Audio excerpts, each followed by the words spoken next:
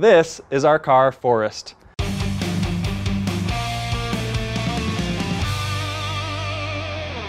Forest is a 2005 Honda Accord, and we call it Forest because it will run forever. Honda Accords are great cars, they have great engines, but the body on this thing looks terrible. It's been in several accidents, including the person who owned it before us, who got in an accident that was fairly major on the side, and they bondoed it and they painted the whole thing over. Now as you can see, the paint job's looking like garbage.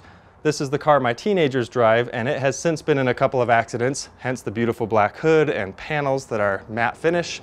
So definitely not the best looking car, but I thought, could we spice this thing up a little bit? Could we do something with it to make it look decent with a budget of $174? Now after showing you the finished result, I will be showing you three things that I learned from this project that I would do differently if I were doing this again. This was my first time trying to Plastidip an entire car by spray can, which, you know, not something that you, I would recommend doing over and over. But first attempt at it, I did learn a few things and I'll share those with you.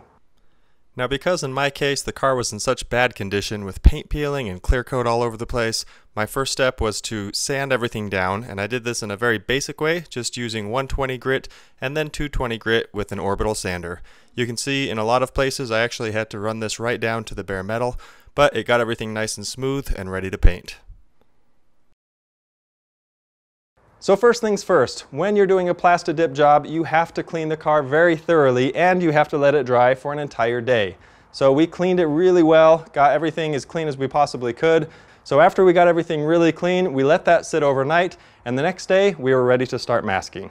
Now, I recommend you don't do this in a blustering 40 mile an hour wind type of day like we tried here. Once we moved it into the garage, we had much better success. Now, once in the garage, we masked off all the lights, we masked off the windows, we masked off the wheels, and got everything covered up to the way we wanted it. The cool thing is you do not have to mask off your emblems, your badges. Obviously, be sure to remove your license plate and any stickers you have on the body of the car. You might be able to see here that on the tail lights and headlights, we actually left a little gap in the tape because we knew with Plastidip we could just peel off that edging to get a perfect finish. And we didn't want to do what's called a wet pull, where you actually have to pull it off right after you spray that last layer we knew by letting it dry in those types of areas at least, it would create a nice clean break. Okay, at this point, we've got the car totally prepped and we have sanded, we've washed it, we've let it completely dry. There's no humidity, no moisture anywhere. Um, done a mediocre job at least at taping and getting everything off um, and covered up. So here goes our first layer. Now on this first coat, try not to judge too much. I honestly didn't do a great job with it. The goal with the first coat is to do a fairly light coat, but you also want to have an overlap of 50%. Do one band, and then on your next one, you overlap that by 50%, your next one by 50%. So you're essentially getting two coats on each section of the car. Didn't do a great job with that, but you'll see it actually turned out just fine. Now one of my favorite things to do is to help other people with their various DIY projects. And I'm doing projects all the time with people. It's a lot of fun, but I can't get to everybody that I'd love to help. Fortunately, our sponsor for this video, Fixer.com, does exactly that. For a small fee, you can be connected with a professional, a tradesperson who really knows their stuff, and they cover everything. Everything from home automation, to painting, to plumbing, electrical, and everything in between.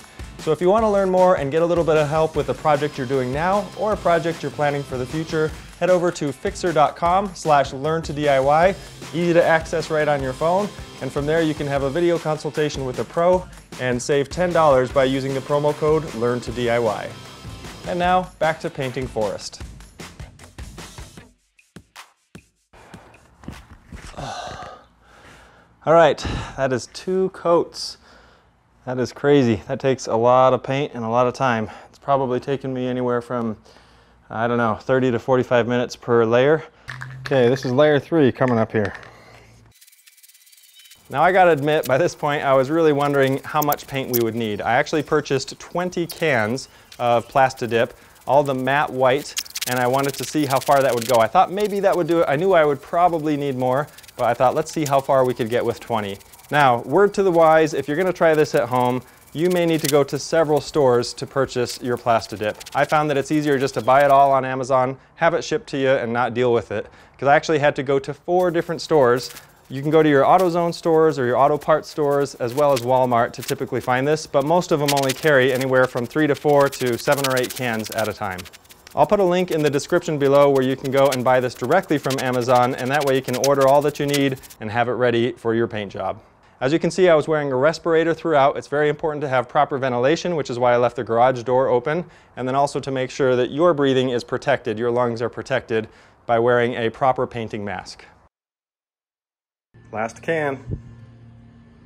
19 down, one to go, and it is looking pretty good.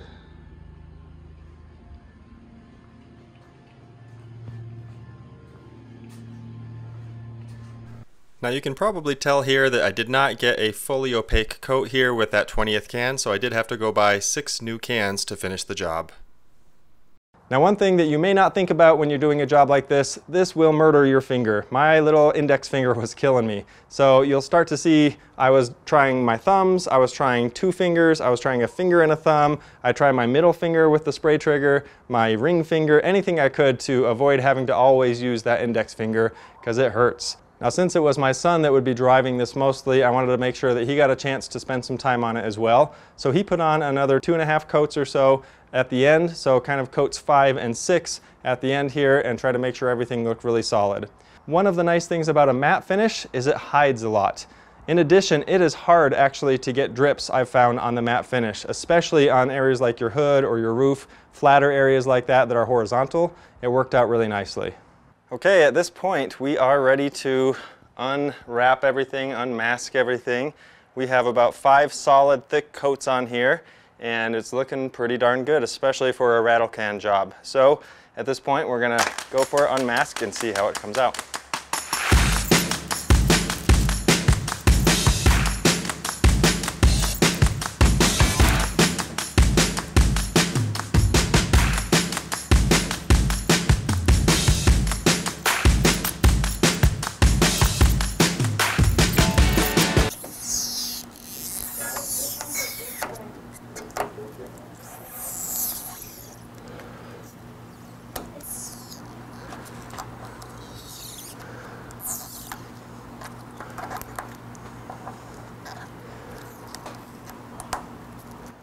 I peel a little bit, Dad?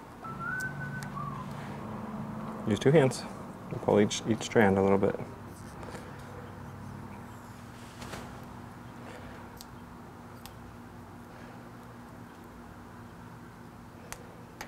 Nice. Check that out. That thing is looking pretty good. I was really impressed with what you could do with a day in the garage, $174 worth of spray cans and some supplies. I think this thing was looking like a whole new car. Definitely a huge improvement over what it looked like before. Now two things stood out to us as we finished this job. Number one, it definitely needed the new grill and emblem on the front, but number two, those rims look like they needed a new coat of paint. So, Plastidip to the rescue, we took another three cans or so of black Plastidip and got started.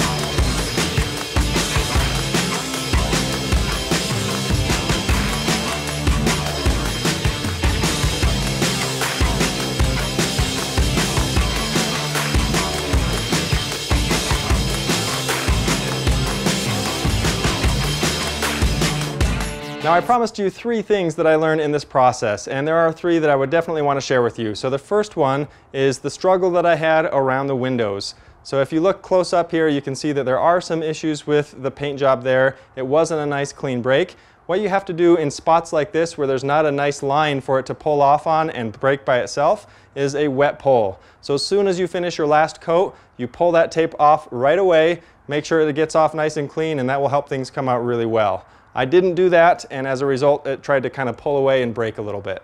Now my second tip is to try to do this inside in a garage if possible. If you have to do it outside, make sure it's not a windy day, otherwise you're really going to struggle with this. But it didn't really make any of a mess. I didn't put anything down on the floor and it left some dust on the floor that we were able to sweep away when we were done. That was it. So we had a really good experience with doing that inside the garage. Now my third and final tip is to check the nozzle of the can from time to time.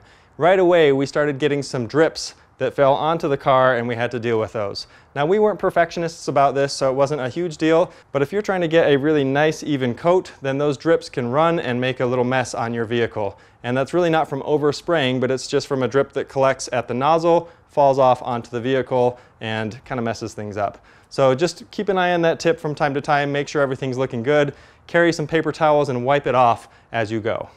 So do you like it? Do you think it looks like trash? Go ahead and leave your comments below. I'm an open-minded guy. You might think it looks terrible. That's okay. Now, if you like this video, I suspect you might like my other Plastidip video right here, where you can learn how to just Plastidip your emblems or badges. It's easier than you might think, and it looks fantastic. So very cool to do. Take a look right here.